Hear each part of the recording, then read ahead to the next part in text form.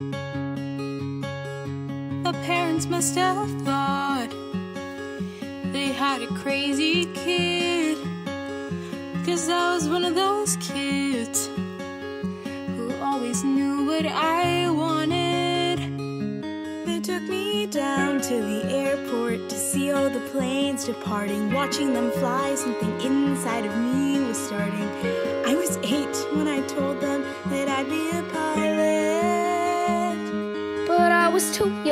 too short, and there were no female captains. And my dad said, be patient, he said, just see what happens.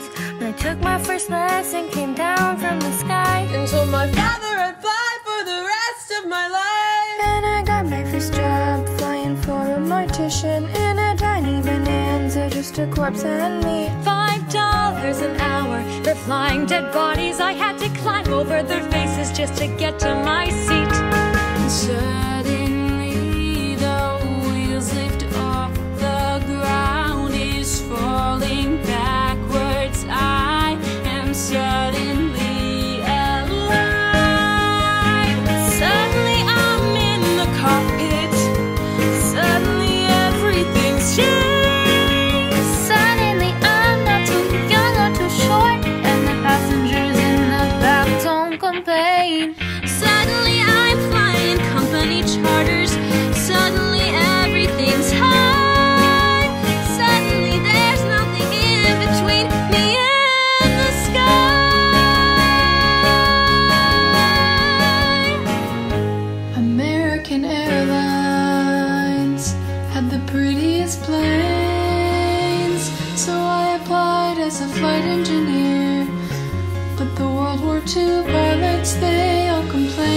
Said girls shouldn't be in the cockpit. Hey lady, hey baby, hey, why don't you grab us a drink? And the flight attendants were my friends back then, and they said, Are you better than us? Do you think?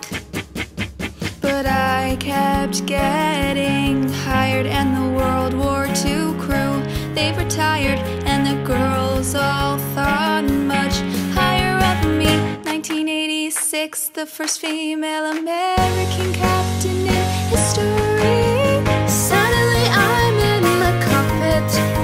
Suddenly I've got my way. Suddenly, all of those pilots protesting me, well, they can get their own drink. Suddenly there's no one saying stay grounded, looking down, passing them by.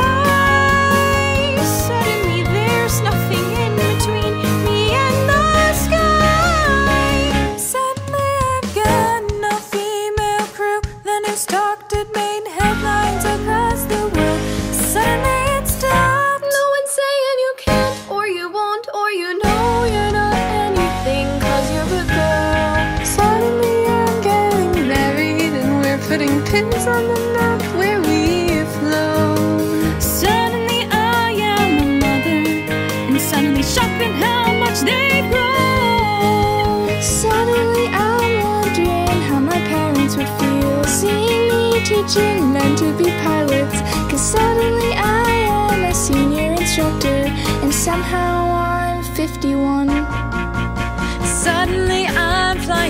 Paris to Dallas, across the Atlantic and feeling calm. When suddenly someone on air-to-air traffic says at 8:46 there's been a terrorist action, and the one thing I love more than anything is used as the bomb. Suddenly I'm in a hotel.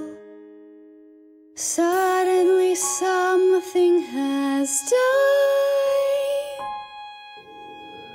Suddenly there's something in between me and the sky.